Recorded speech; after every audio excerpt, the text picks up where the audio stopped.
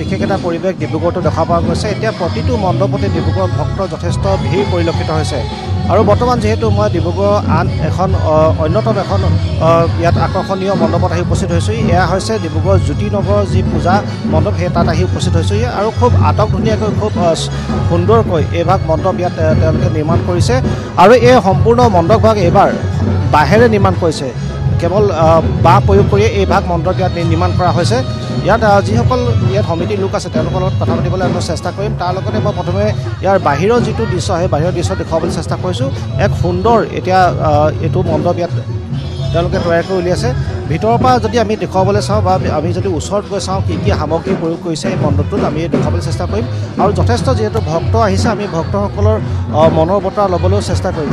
কিন্তু অতি আকৰ্ষণীয় হৈছে এই ভাগ আহ, পূজা মণ্ডপো আৰু ডিব্ৰুগড়ৰ প্ৰায় প্ৰতিটো মণ্ডপতে আৰু ডিব্ৰুগড়ৰ প্ৰায় প্ৰতিটো মণ্ডপেই যথেষ্ট আকৰ্ষণীয় হৈছে আৰু সকলোতকৈ ডাঙৰ কথা আমি যদি চাওঁ বেছিভাগ মণ্ডপ কিন্তু প্ৰাকৃতিক উপাদানেৰে ইয়াত নিৰ্মাণ কৰা হৈছে।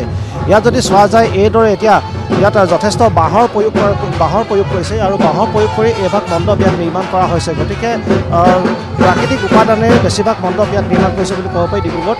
ভিতৰৰ পৰিৱেশ মই দেখুৱাবলৈ চেষ্টা কৰিছোঁ। ভিতৰতো খুব এক ধুনীয়া পৰিৱেশ এটা ইয়াত সৃজন কৰা পৰিলক্ষিত হৈছে।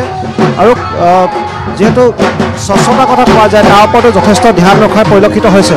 মই ইয়াত ভিতৰৰ পৰিৱেশ দেখুৱাবলৈ চেষ্টা কৰিছোঁ আৰু যিটো ঢাক ঢোল বাজি আছে এটা সুন্দৰ পৰিৱেশ সেই পৰিৱেশৰ মাজত লৈ যাবলৈ চেষ্টা কৰিছোঁ।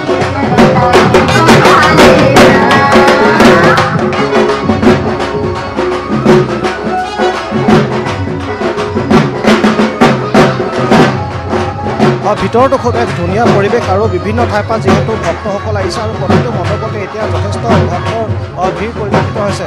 আমি কিছু লোক বিভিন্ন ঠাইৰ পৰা যিহেতু আহিছে তেওঁলোকৰ লগত কথা পাতিবলৈ চেষ্টা কৰিম। তেওঁলোকে মনৰ বতৰা ল'বলৈ চেষ্টা কৰিম। বাইদেউ ক'ত ক'ত পূজা চলে? চাবলৈ। কেনেকুৱা লাগিছে ডিব্ৰুগড় পূজা এবাৰ? ভালে লাগিছে। ভালে লাগিছে। হয় যিহেতু কমিটিৰ লোক আছে আমি এই এইভাগ পূজাৰ বিষয়ে আমি কথা পাতিবলৈ চেষ্টা কৰিম। এইবাৰ আপোনালোকক কিমান সংখ্যক এইবাৰ এইটো পূজা? আমাৰ এই বছৰ ত্ৰিছ বছৰত ভৰি দিছোঁ আমি। ঊনৈছশ চৌৰান্নব্বৈ বছৰ বছৰত আমাৰ এইটো আৰম্ভ হৈছিলে। এই বছৰ ত্ৰিছ বছৰ হৈছে। এইবাৰ আপোনালোকে কি বাৰ্তা দিবলৈ বিচাৰিছে আমি এইটো মানে আপোনাৰ ইক' ফ্ৰেণ্ডলি কৰিছোঁ যাতে আমি আমাৰ মানে অসমৰ এটা ধৰক বাঁহৰ যিটো হেৰি আছে বাঁহৰ দ্বাৰাই পূৰা সম্পূৰ্ণ পেণ্ডেলটো নিৰ্মাণ কৰিছোঁ। বাঁহ ইয়াত কেইবাবিধৰ বাঁহ ব্যৱহাৰ কৰা হৈছে।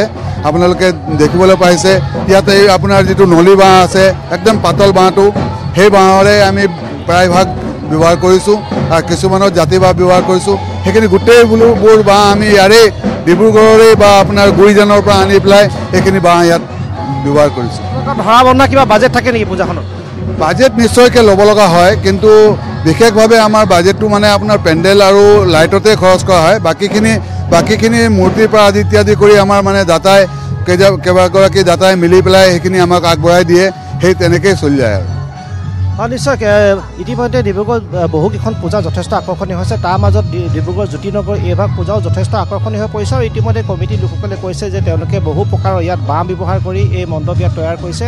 আৰু আমি যদি চাওঁ ডিব্ৰুগড়ৰ বেছিভাগ কিন্তু মণ্ডপ এইবাৰ কলকাতাৰ পৰা অহা কাৰিকৰে নিৰ্মাণ কৰিছে শিল্পীয়ে নিৰ্মাণ কৰিছে। আৰু এইভাগ পূজাও বৰ্তমান ব্যতিক্ৰম নহয়। আৰু খুব সুন্দৰভাৱে তেওঁলোকে বিভিন্ন জাতিৰ বাঁহ ইয়াত প্ৰয়োগ কৰি এইদৰে এটা সুন্দৰ মণ্ডপ তৈয়াৰ কৰি লৈছে আৰু লগতে এক সুন্দৰ প্ৰতিভা স্থাপন কৰিছে। গতিকে আন আন পূজাৰ দৰে এইখন পূজাও যথেষ্ট আকৰ্ষণীয় হৈ পৰিছে ডিব্ৰুগড়ত।